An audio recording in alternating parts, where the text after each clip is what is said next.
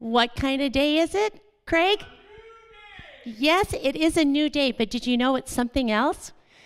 Um, you might be thinking three weeks until Easter, which is true. You might be thinking it's the day I forgot to turn my clock ahead to spring forward, which may or may not also be true. It could be Albert Einstein's birthday, which it actually is. Not that he cares anymore. And um, it is starting really close to the major countdown for baseball season to start, which is April 1st, no fooling. But it is also National Pi Day. Pi without the E, mathematical pi. Pi Day was established as a recognized holiday March 14, 2009, and is one of the nerdiest holidays I celebrate. I can't speak for anyone else. Pi represents the relationship between the circumference, the around of the circle, and the diameter, the distance across the circle. Any circle, any size, it could be a penny, it could be a planet, the ratio is the same. If you divide the circumference by the diameter, you're going to end up with the same number 3.14. That's where we get March 14th for Pi Day. But then it goes on 15962, and this goes on for infinity. None of the numbers repeat in any, specific pattern that they can uh, find out. Although at 360th rep, 360 appears, you know, that's pretty cool because there's 360 degrees in a circle. Oh, and then I think at the 762nd position, there's six nines in a row. It's called the Feynman point, but doesn't happen at all. And so that makes pi an irrational number. It's used in math and uh, science and engineering a lot. It's often used to stress test a computer. But any equation you use pi in, the value is still the same. It's a constant. So, what do we know about pi? Well, we know it's irrational, it's infinite, it goes on forever, and it's important, and it's a constant. But you're probably wondering, what does this have anything to do with God? Well, that's what I'm going to talk about today. So, last Wednesday night at Sunday school, we did bubble painting.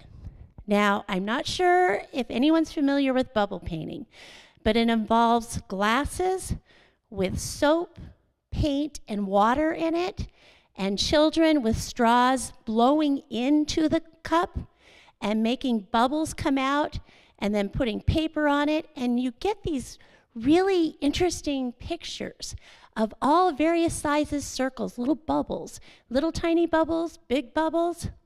And there's one more thing it makes an, an incredible mess, but it's fun. I, I do have to admit, there was more than once that I said, don't drink it, just blow into it. Well, after we were finished our bubble painting and we were enjoying our snacks. I told the kids, you know, I showed my wedding ring and I said, in this circle, you know, my wedding ring's a circle. Where does it start and where does it end? And they had ideas, you know, like at the top where the diamonds are, maybe it starts there, or maybe at the bottom where, you know, underneath my finger, maybe that's where it starts. And I said, you know, this ring is a circle. You don't know where it starts, you don't know where it ends. It just seems to go on forever. And I said, This is a lot like God.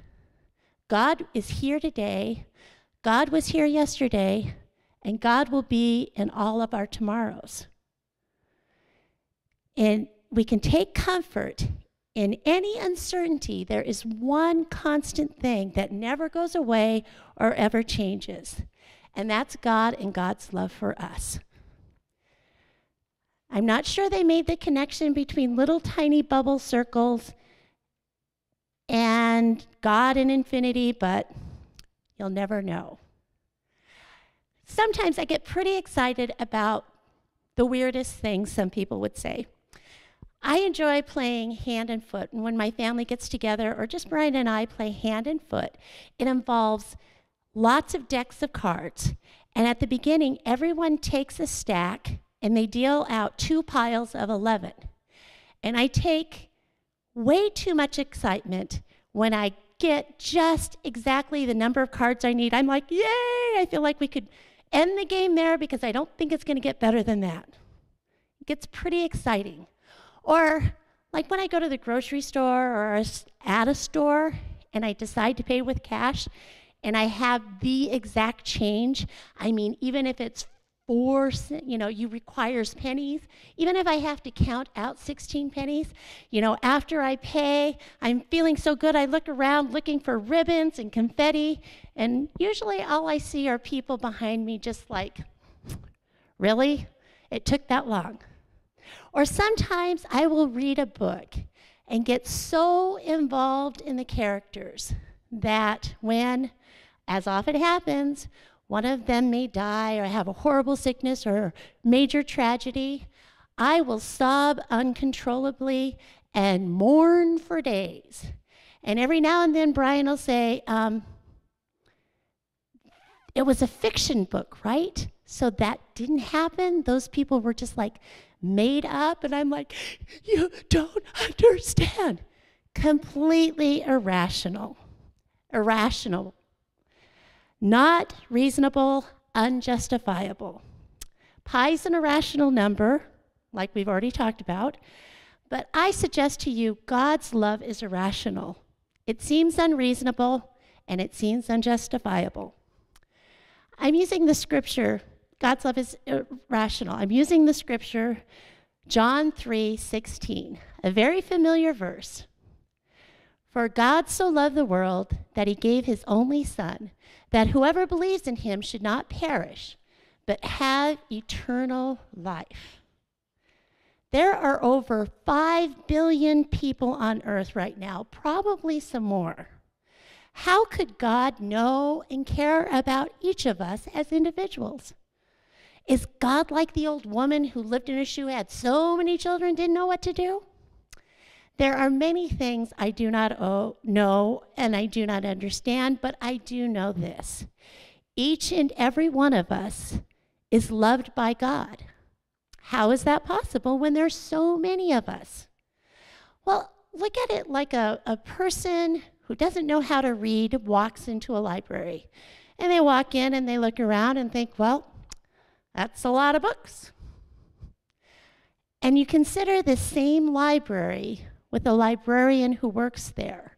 The librarian will walk in and knows all the books and knows where they're placed and knows probably when they were written and knows about the authors and other books the authors have written. They might know about the genre of the book and similar authors that write the same kind of book. They might know many things. The, the experience of the librarian is so much more different. The librarian views the books differently because the librarian knows the books. It's much like the difference between uh, me and my son Andrew, who's a mechanic, when we pop the hood and look at the engine. Now, I know just enough about how an engine works to cause trouble I mean, I can add oil and coolant, I can change the oil and check the brake fluid and all of that stuff. But I guarantee you, when I look at the engine, I do not have the same, um, I do not see the engine the same way as Andrew does. He has, sees far more detail and has a far greater understanding. So that's how God knows us. I have to admit, I sometimes think there are people who do not deserve God's love and grace. You know them too. They cut you off in traffic. They laugh that the Vikes do not have a Super Bowl ring every year. No, but seriously, there's people that lie and cheat and they're horrible and they're mean and they do awful things. I have a very clear understanding of someone who is worthy of God's love. Someone stated it this way. If you can start the day without caffeine or pills, if you can understand when loved ones are too busy, if you can take criticism and blame without resentment, if you can face the world without lies and deceit, if you can relax without liquor, if you can sleep without the aid of drugs, if you can do all these things, then you're probably the family dog. The fact of the matter is, none of us is worthy of God's love, but it's something that's available to all of us. The loving everyone all the time is not the only irrational thing I think about God's love. Consider for a moment how vast the entire universe is. The current estimate is that our galaxy, the Milky Way, contains about 100 billion stars, many of them in clusters of hundreds of thousands.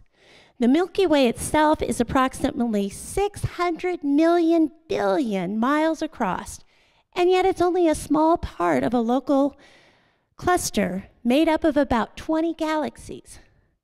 There are estimated to be more than 10 billion galaxies just what we can see of the universe, let alone what we can't see.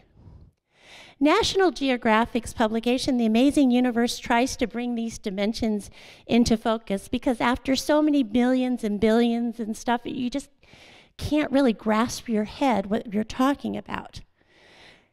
They said if you were to, uh, if the scale were reduced a trillion times, so that the sun became the size of a pinhead, then the entire solar system would fit inside a large living room.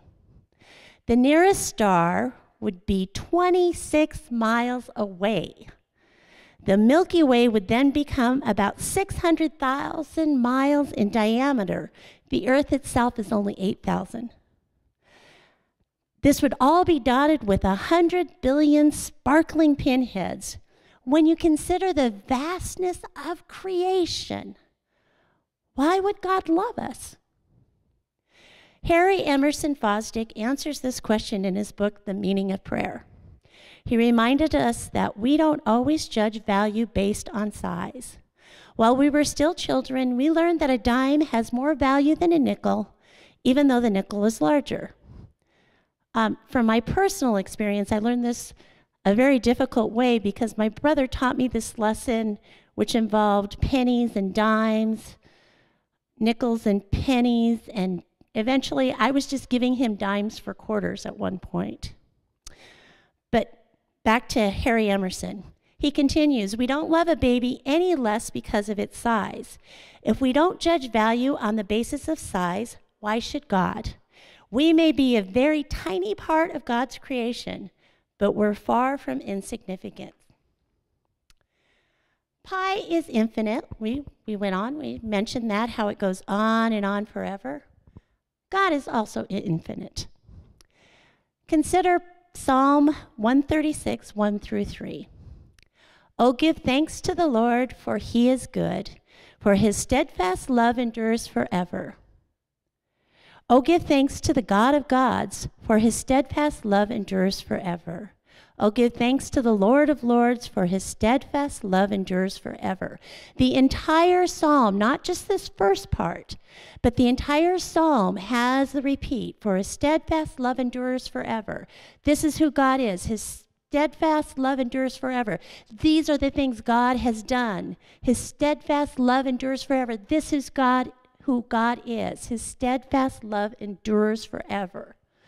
One of the greatest figures in Christianity, Martin Luther, said that even the word God bespeaks of infinite care, infinite kindness, infinite goodness, infinite love. For his grace is greater than our sins, his love is greater than our fear, his power is greater than our impotence, his promise greater than death and the grave. In Revelations 1, chapter or verse 8, hear what John writes. I am the Alpha and the Omega, says the Lord God, who is and who was and who is to come, the Almighty. The God who is, the God who was, and the God who is to come. present, past, and future. You can't cover infinity more than that. Pi, mathematical pi, is important. Well, on occasion, dessert pie is important as well. But can you imagine a world without anything circular? Without any springs that could be made with the accuracy needed to be functional? Now that it's warming up, I'm asking you golfers out there can you imagine life without golf balls? It's also invaluable in, co- in computations. God is important. God's words are important. God, God's words are important because God's words train us. 2 Timothy chapter 3 verses 16 through 17. All scriptures all scripture is inspired by God and profitable for teaching, for reproof, for correction, and for training in righteousness, that the man of God may be complete, equipped for every good work. The words train us, but God's words also direct us.